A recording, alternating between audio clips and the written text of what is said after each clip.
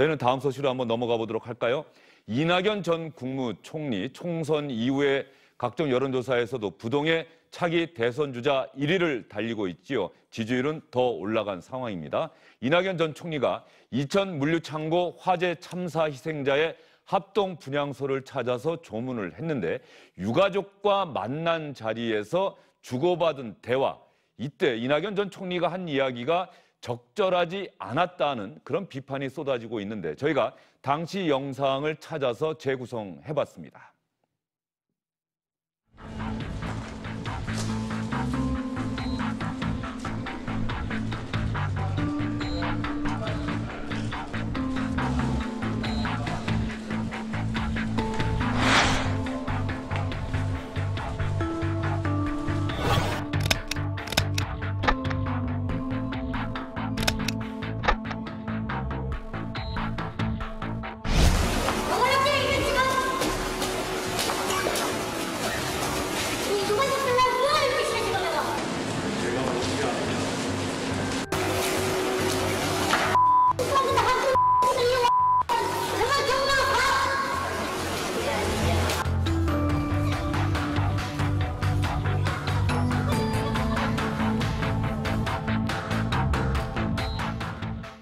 예, 유가족 분들이 상당히 격앙된 상황이었고 이낙연 전 총리는 저희가 영상으로 여러분께 보여드리는 목소리는 제가 모은 게 아닙니다. 이 정도만 보여드렸는데 아마 다른 부분에 대해서는 목소리가 영상에 포함되지 않은 모양이죠, 박문신 의원?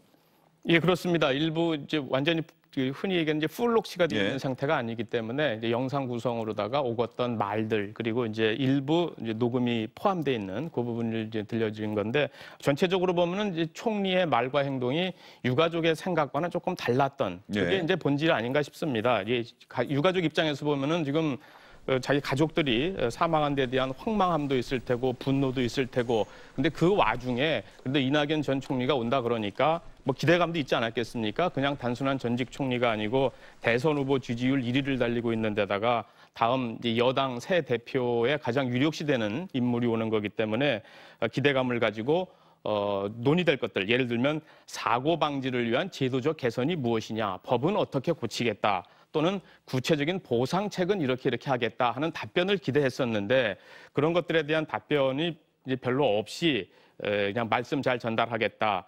어, 내가 책임 있는 위치에 있지 않아서 뭐 해줄 얘기가 없다 이런 식의 얘기를 하니까 유가족 입장에서 보면은 듣고 싶은 얘기는 별로 못 듣고 그렇다고 유가족의 항의에 대해서는 그 이낙연 총, 총리가 한마디도 지지 않고 거기에 대해서 어, 막 반박하는 그런 태도 이런 것들을 으, 이게 합치다 보니까 좀 유족들이 나중에 이제 그 이낙연 총리 퇴장할 때는 좀 격앙된 혀- 상태로 좀 분위기가 좀 변한 게 아닌가 하는 생각이 듭니다. 예, 이낙연 전 총리가 국회 대정부 질문 답변을 통해서 야당 의원들이 아무리 고성으로 질문을 하더라도 차분하게 이야기를 해서 야당 의원들을 머쓱하게 만들었던 네.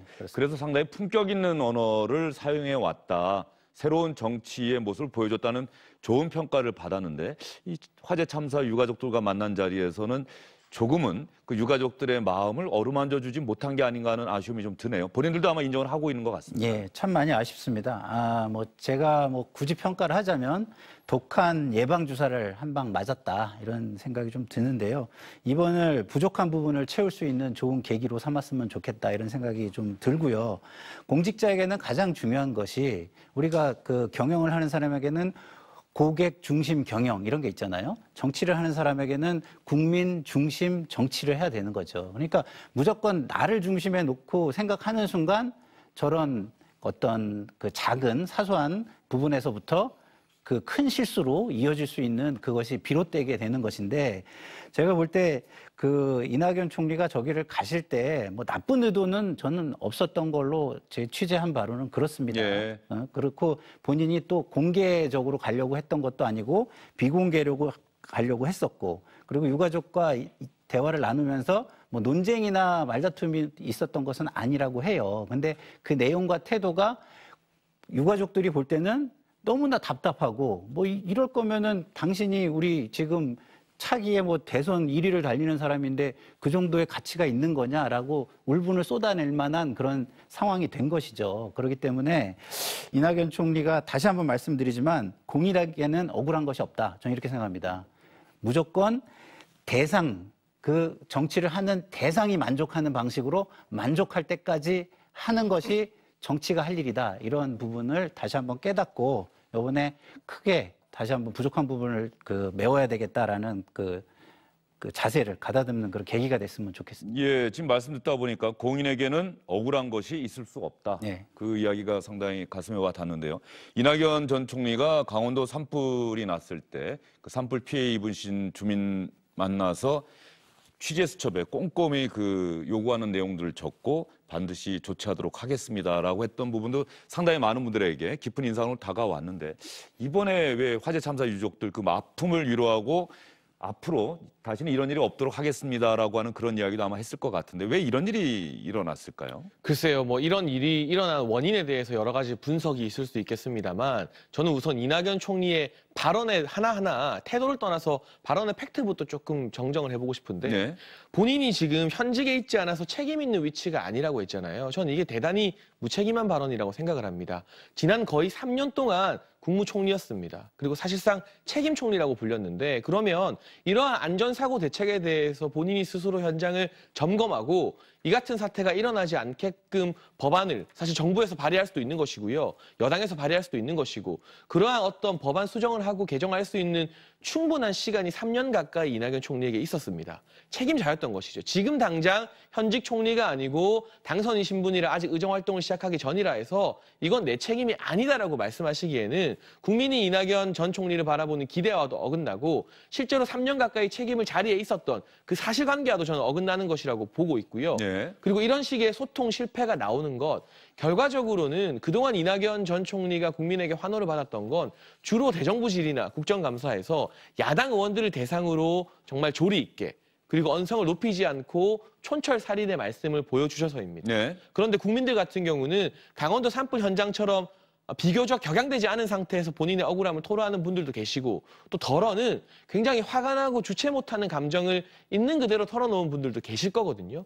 그분들에게 마치 야당 정치인 대하듯이 사리에 맞게 이건 정부가 할 일이고 아직 나는 국회의원 활동 시작 안 했으니까 법안을 발의할 권한이 없고 이런 말씀을 하는 게 과연 이 대선 주자급 정치인이 보이실 행동인가? 저는 전혀 아니라고 보고요. 이게 센 예방 주사가 될지 김상희 교수의 말처럼 아니면 이낙연 총리가 앞으로 거의 2년 동안 남아있는 대선 레이스에서 이렇게 큰 주목을 받으면서 아주 사소한 언행도 이제는 언론의 집중 관심을 받게 될 겁니다. 예. 너무 일찍 대선 주자로 부각되는 게 그래서 불리하다는 의견도 정치권에 있거든요.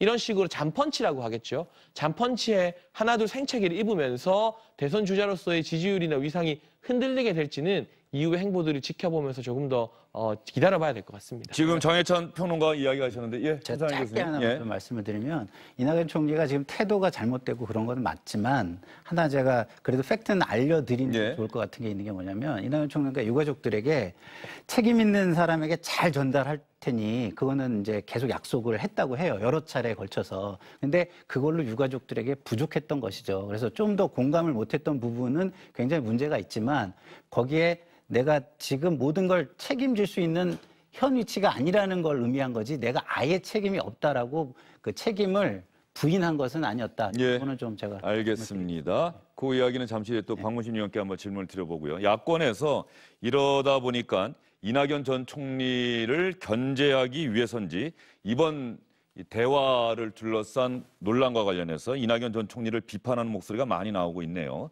미래통합당 부대변인 자신도 오만해진 것은 아닌지 민생당에서는 알맹이 없는 조문은 정치인들의 이미지 제고 수단으로 의심받기 충분하다. 장재원 미래통합당 의원 같은 경우는 뭐 소름이 돋는다 이렇게 자신의 SNS에 글을 올렸는데 틀린 말은 하나도 없는데 소름이 돋는다. 차기 대통령 선호도 1위인 분이 울부짖는 유가족과 나눈 대화의 내용이 이렇다니 등골이 오싹하다. 머리만 있고 가슴은 없는 정치의 전형이다. 이렇게 강하게 비판을 했는데 박무신 의원 이낙연 전 총리 측에서도 분명하게 좀 해명을 해야 되는 상황인 것 같아요. 네, 그렇습니다. 일단은 그 이제 말의 책임 뭐 이런 예. 부분들을 가지고 이제 공방이 시작된 거기 때문에 그 부분에 대해서는 어, 원래는 이게 공식적으로 유가족들한테 알리고 간 게 아니었다. 이게 비공식적으로 조문만 하려다 했었는데 이게 취재진한테 알려지고 그래서 유가족들이 결과적으로 알게 돼서 찾아간 자리였다 하는 식으로 해서 다시 말해서 조용히 방문하려던 당초 계획이 좀 어긋났다. 요, 요 해명이 일차적으로 있었고요.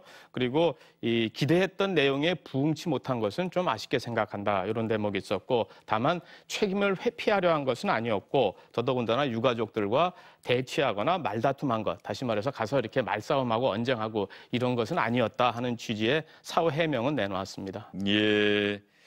제가 장난으로 왔겠습니까? 저는 국회의원도 아니고 한 조문객으로 왔습니다. 그리고 여러분들의 마음을 전달하겠다고 말씀드렸지 않습니까? 이 격앙된 유가족에게 또 이렇게 이야기를 했다고 하는데 이낙연 전 총리의 이천 물류 창고 화재 참사 희생자들의 합동 분향소 조문 과정에서 유가족들과 이낙연 전 총리 사이에 오갔던 대화를 둘러싸고 부적절했던 것은 아닌지 이러한 논란이 있었고 특히 야권에서 비판의 발언이 나왔기 때문에 이 사안은 여러분께 자세히 설명해 드렸습니다. 이낙연 전 총리도 아마 느낀 게 많은 그런 방문이 아니었을까 하는 생각이 듭니다.